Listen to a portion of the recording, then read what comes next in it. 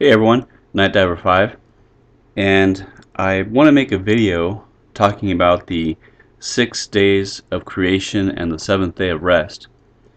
Uh, I know I already have a video of this up but a lot of people don't go back and look at old videos so uh, and one of the ways I decide on what topic to make a video is when I start getting questions on a certain topic and I realize oh, there must be a need for someone to get this information. So I'm going to go over this real quickly. Um, basically, everyone knows that in Genesis, God made the earth in six days and rested on the seventh. Why would he do that? And why would he rest? He could have done everything, snapped his fingers, and been done with it, and you know Yahweh doesn't need to rest. So it only makes sense if it was done that way as a model for us to learn from. And the model is one day is a thousand years of what we know of as our history. And we have verses that show us. In Psalm 94, it says, For a thousand years in thy sight are but as yesterday, when it is past, and as a watch in the night. And also in 2 Peter 3:8 it says, But beloved, be not ignorant of this one thing, that one day is with the Lord as a thousand years, and a thousand years as one day.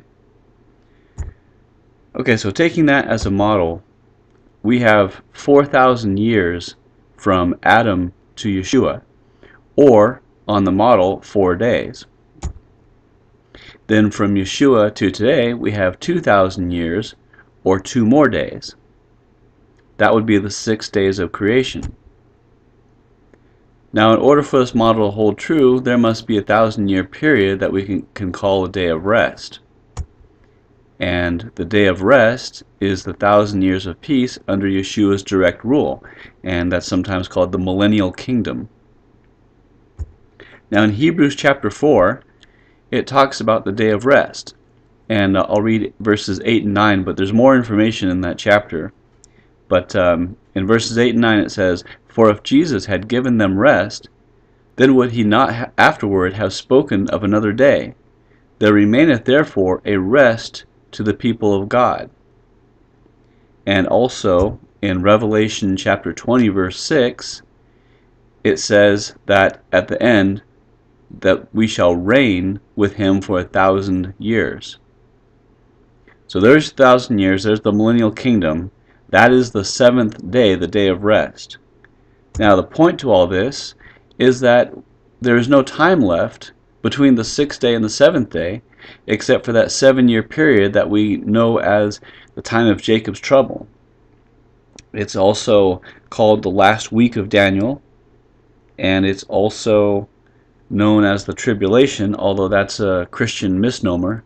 The tribulation technically is only the last half of that seven year period. But um, just try to warn people because we are very, very close. I don't know when this seven year period starts, but I can tell you what starts it, and that's the, the dividing of Jerusalem. And the rapture happens before that.